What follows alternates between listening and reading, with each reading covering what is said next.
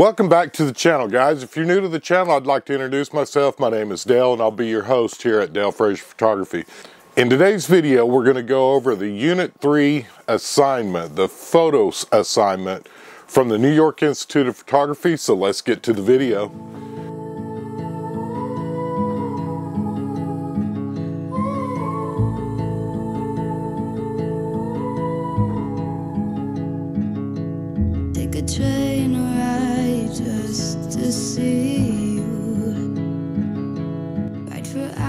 Again, guys, thanks for tuning in to Dale Frazier Photography. We've gotten a handful of requests from viewers asking a little bit more about the New York Institute of Photography. So I thought in today's video, what might be kind of fun is we're going to show you the images that we submitted. I'm going to read off basically the qualifications or the requirements for the photo assignment, and then I'll show you the images that we submitted and show you the grade as well that we received from our Unit 3 assignment that we completed.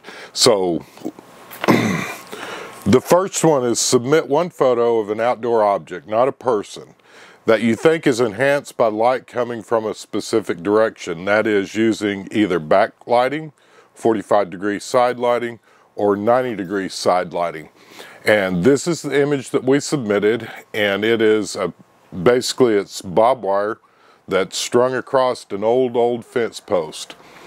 It's golden hour time wise so basically you end up with a 90 degree side light the 90 degree side lighting brings out a lot of texture and detail in your images and it's a fun light to work with and if, if you guys are into portrait photography at all you probably already know about the golden light golden light hours is basically your first hour of light in the morning or the evening either one it doesn't really matter and it's just a really nice more of a golden color, golden toned light.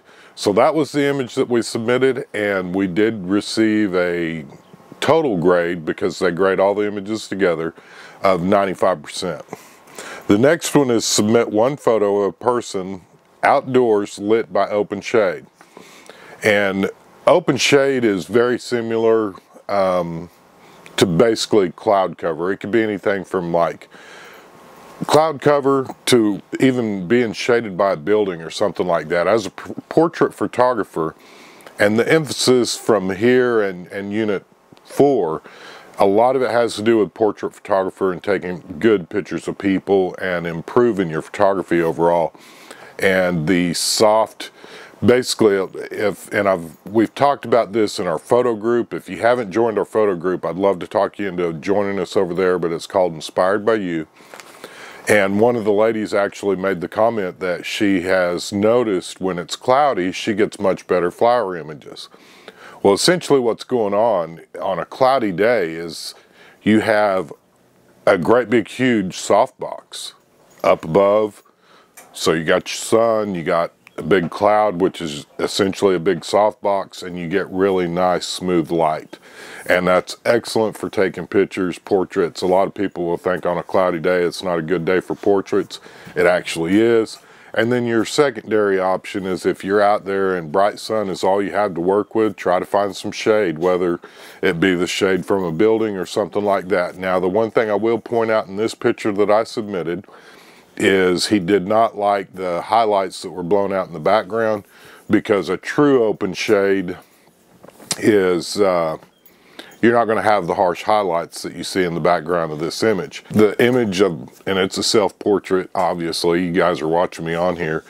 It's, uh, I'm in open shade, the background is not.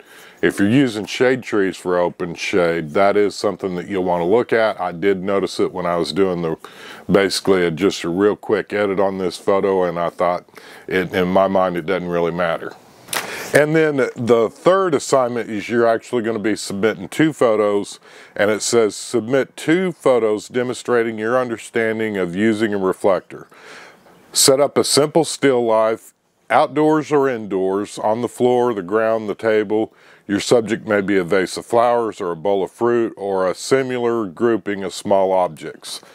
When I first read this photo assignment, I didn't read it all the way through.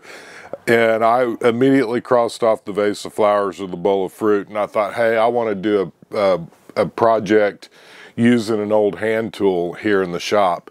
And this is the images, I'm gonna show you them real quick that I did not submit because after rereading the assignment, it says a vase of flowers or a bowl of fruit or a similar grouping of small objects. So this is the hand plane that I submitted, I thought, or did not submit, that I took pictures of. I thought it was actually cool.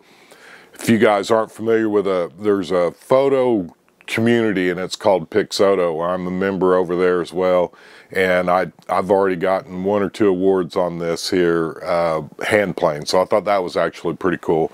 But here's the photos that we did submit and it's going to be flowers in a vase and the uh, one thing that the uh, guy that was grading my assignment, he, he, you know, they've got to critique you and talk about stuff. And basically he said he would have pulled the flowers further away from the backdrop than what I had them placed at.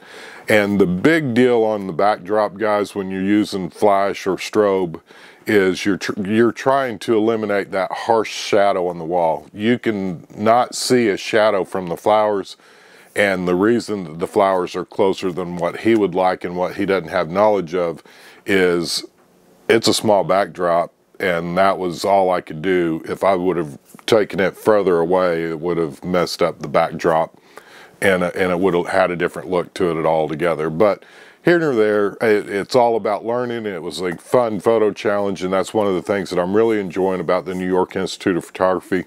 As many of you know, I have graduated from in the past, and I'm retaking it just to kind of brush up on some stuff and also be able to give you guys a fair evaluation. I thought it would be fun to go ahead and add one of the basically the assignments from Unit 3 as well as a critique. If this is something that you enjoy, if you would comment down below and let us know, hey, we'd like to see your future photo assignments. I have over the last couple of months posted up images at either at the beginning of the video or the end of the video where they were some of the images that we have been submitting for the assignments. I just haven't actually done a formal video and I thought this would be kind of fun since we just did a review on the first half of the New York Institute of Photography. Again, guys, we appreciate your likes, comments, and subscribes. Next week, we are going to continue and we're going to work a little bit with focus stacking as an, as a, another fun way to kind of improve your images and give you a broader focus range other than just using like F16 or something like that. It's just one more fun, cool step, something that you can kind of build up your images and end up with a little bit bigger print, if you will, especially if you're using the Canon Rebel or one of the lesser cameras or older outdated cameras. Until next week, be sure to check out one of our playlists up here. Again, guys, we appreciate your likes, comments, and subscribes. And as always, guys, we hope you have a blessed week. And let's go shoot some stuff.